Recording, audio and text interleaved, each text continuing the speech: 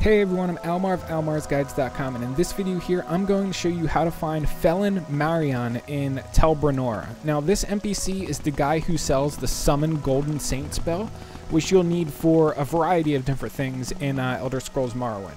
So right now, I uh, here's the Tel Branora boat that arrives here, and this is the whole like little capital citadel thing of Tel Branora. It is a uh, Tel or Telvanni town, however you want to pronounce it. So you will need levitate in order to reach the NPC that we're going for. So the first thing you want to do is run up here to where uh, the upper tower door is. Technically, you can probably enter in from the lower tower too, so long as you eventually make your way to the upper tower. And we're going to be uh, navigating these tunnels.